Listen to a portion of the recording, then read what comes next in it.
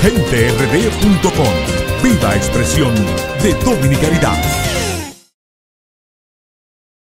Este lunes llegamos a Caribbean Cinema de Downtown Center, donde se realizó la premier de la primera parte de la película El Equipito, todo por una herencia, bajo la producción de Miranda Film, Anillo Film y Caribbean Cinema. Allí se reunieron los protagonistas de esta producción que dirige Roberto Ángel Salcedo y que estará disponible para el público desde este jueves 19 de septiembre. En esta cinta, Roberto Ángel retorna a su faceta de actor en compañía de un elenco protagónico que reúne a la insuperable Manolo Osuna, Melimel, Juan Carlos Pichardo, Francisco Sanchís, Alex Mato, Abel Mena, El Nagüero, Daniel Luciano, Ken Wood, el doctor Nastra y Kenny Grillón, entre otros. Bueno, muy complacido, el, resultado ha sido muy agradable, el público ha reaccionado de manera positiva y al final es el objetivo, eh, concebir una idea, poderla presentar, que la familia se reúne en el cine y disfrute.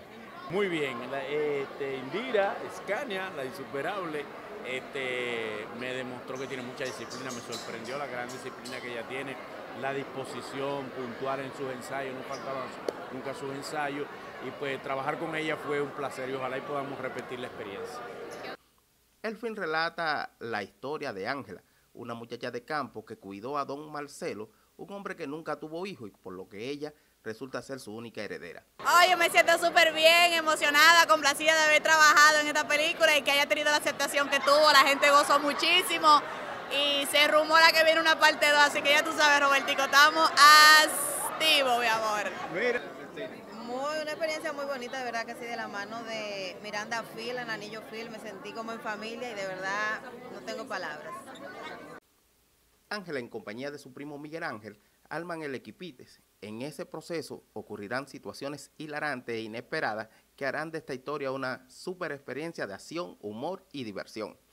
La película causó mucha risa en los presentes y no era para menos, aunque tendremos que esperar la segunda parte para saber en qué para todo esto de lo que viene siendo el personaje de la insuperable porque tengo un papel totalmente diferente.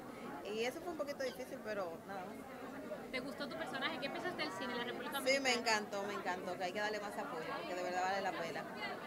Saludos para la gente de RD, gracias por estar ahí y gracias a ustedes por apoyarnos y vayan a partir del 19 de septiembre a todas las salas de cine del país a gozar con la familia, a ver el equipito. Gracias. Gracias a ustedes. El viernes 20 de septiembre la película abre en cines seleccionados de varias ciudades de los Estados Unidos, donde hay una afluencia importante de dominicanos y que ha estado dando un respaldo sistemático a todo lo que se está desarrollando y produciendo en el país. Yo soy David Ruiz y esto es Gente RD. Viva expresión de dominicanidad.